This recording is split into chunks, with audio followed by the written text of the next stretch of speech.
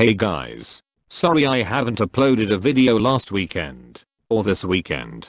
I've run out of video ideas. I knew I was going to hit this point eventually. So have some filler. It's a picture of three spies with a MIDI of my outro. Enjoy.